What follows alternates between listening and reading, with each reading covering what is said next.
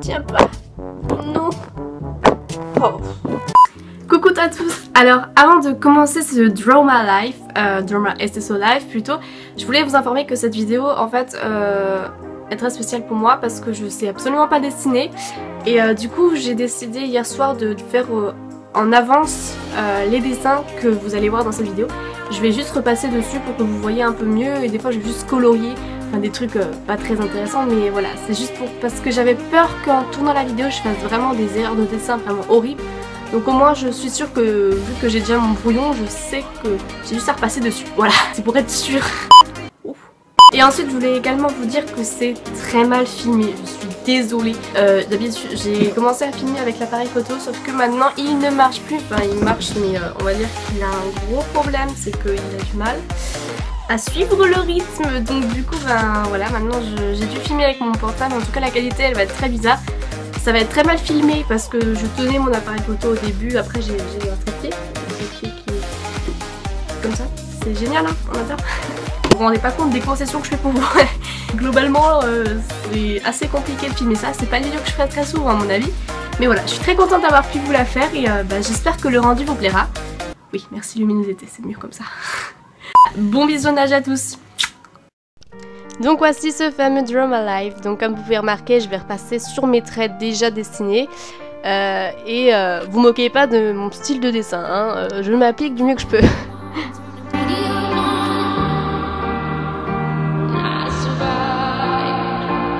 Alors, un peu comme tout le monde, mon aventure, elle a commencé à Moorland. Voilà. J'ai essayé de représenter le mieux que je pouvais Moorland ainsi que son beau château en arrière-plan. Voilà. Alors à l'époque j'étais déjà sur YouTube et c'est justement une amie de YouTube qui m'a fait découvrir ce jeu. À la base on va dire que j'étais pas, pas trop chaude en fait pour tester mais finalement je me suis lancée. Voilà. That.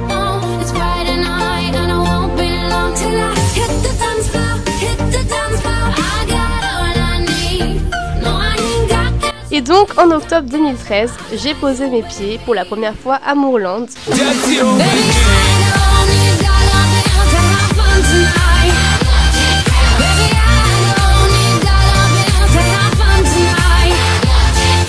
Et oui c'est bien la scène du trailer, bravo à vous si vous l'aviez reconnu. Et comme tout le monde, j'ai dû faire le fameux choix de à quoi ressemblerait mon personnage, quel serait son nom, etc.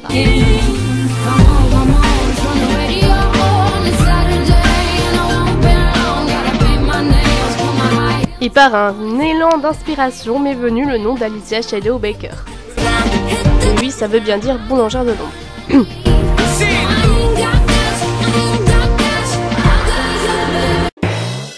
À ça, un autre choix s'est fait à moi, choisir quel serait mon cheval de départ.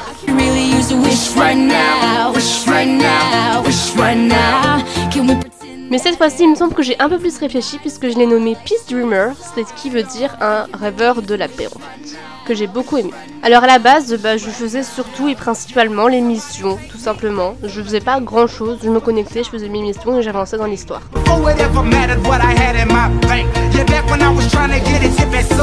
Oui, j'avais un peu du mal à colorer celui-là, je crois. Puis est arrivé ce moment dans le jeu où je rencontre ma première réelle amie. Alors elle se nomme Violetta Cat Knight, actuellement je crois qu'elle ne joue plus, mais on était vraiment très actifs toutes les deux à l'époque sur le jeu et on s'est rencontrés euh, à la course western de Moorland et euh, d'une façon très drôle puisque c'était un peu en mode kikou, euh, comme de l'époque quoi.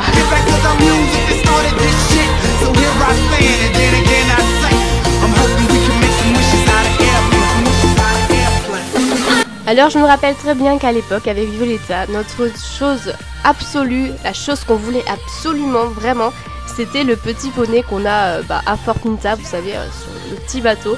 C'était vraiment les euh, chevaux qu'on voulait, les premiers chevaux qu'on voulait vraiment. Donc voilà, ce qui a bien changé maintenant je pense.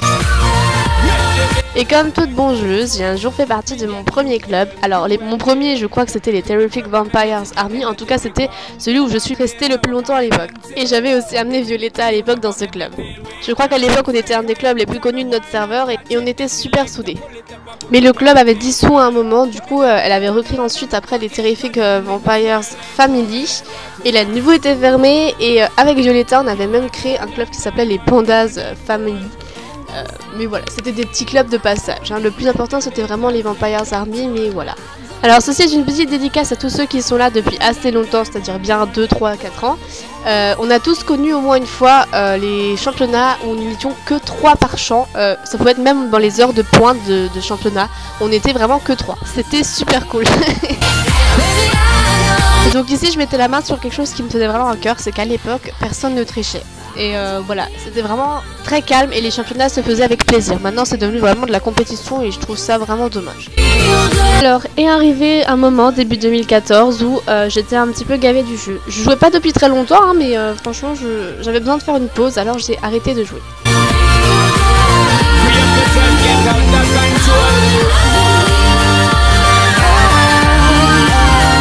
Alors il me semble que j'ai arrêté de jouer 3-4 mois du jeu, euh, je suis revenue vers avril-mai 2014 en fait. Alors j'ai pas loupé grand chose parce que quand je suis revenue, la chose principale qui était vraiment sortie c'était le petit champonnet que j'ai adoré sur le coup, c'était vraiment super chou j'ai trouvé. Et c'est je crois d'ailleurs ça qui m'a fait revenir parce que ça me manquait. Et je tenais à dire ici que c'est par, c'est à cause de cette pause là que j'ai un retard de niveau et que je dans le, que j'avance dans les niveaux euh, moins vite que les autres euh, qui étaient là à la même époque que moi. Début 2015, je commence à me poser les questions est-ce que je devrais pas ouvrir une chaîne YouTube euh, de Star Stable parce que ça me prenait et c'est ce que j'ai fait. J'ai longtemps réfléchi et ben euh, je me suis lancée parce que j'avais super envie de commencer.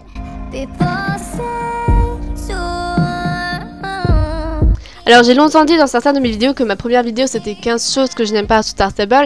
Euh, c'est pas vrai, il y avait une autre vidéo avant, mais en fait 15 choses que je n'aime pas sur Star Stable m'a fait connaître en fait sur, euh, YouTube, donc euh, c'est pour ça que je la considérais comme ma première vidéo. Et elle est aujourd'hui, elle compte plus de 17 000 vues, ce qui est énorme je trouve. Mais il faut pas oublier que depuis que je suis revenue euh, sur le jeu, bah, je n'avais pas de club. Je refusais toutes les propositions parce que j'avais envie de jouer euh, seule. Et un jour, au championnat Sport Pinta, Brooke Night Road est venue me parler, me demandant de venir dans le club West Cobra. Elle m'avait l'air super mature et c'est ce que je recherchais un petit peu. Alors j'ai décidé d'accepter la proposition et de tester, de voir ce que ça donnera.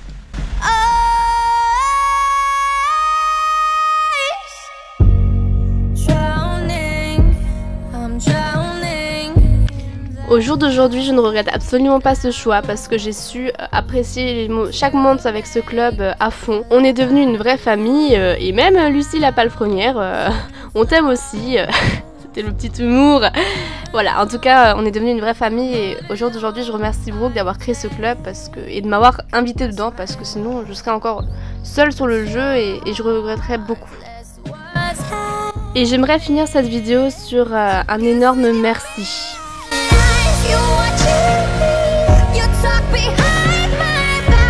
Alors d'abord merci à vous parce que ça fait maintenant presque deux ans que j'ai cette chaîne et ça fait deux ans qu'on a tous augmenté ensemble. On, est passé de, rien à maintenant plus de 2000 abonnés. C'est juste énorme. Je voulais vous remercier pour ça.